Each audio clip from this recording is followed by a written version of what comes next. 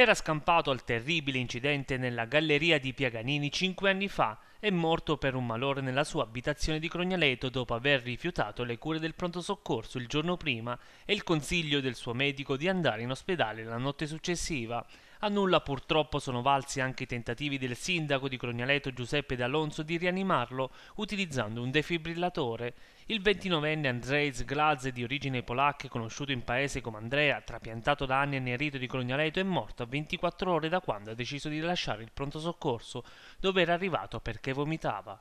Un brutto periodo, una settimana giustamente nera eh, che inizia da lunedì con un funerale qui nel territorio di una persona eh, colpita da malore seppur avanti in età, poi arriva la notizia che a seguito delle intemperie nel, nel Lazio, a Roma, insomma un ragazzo che cade e muore, eh, età giovanissima, 14 anni, originario del mio territorio, tant'è che verrà riportato qui eh, per la tumulazione. E poi ieri, nella giornata di ieri, questo evento, insomma 29 anni morire per per un non nulla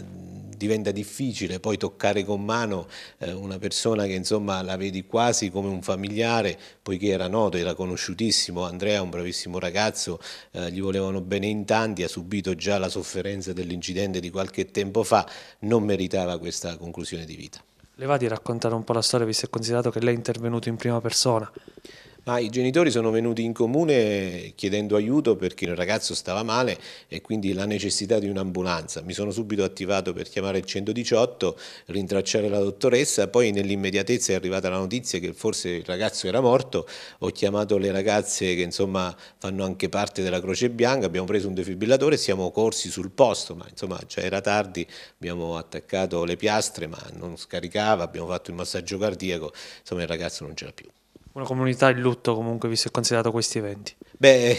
oltre che il lutto, noi lavoriamo, combattiamo molto con questo cancro dell'abbandono del territorio e quando avviene così in maniera naturale e ingiustificata, insomma, fa male, fa male.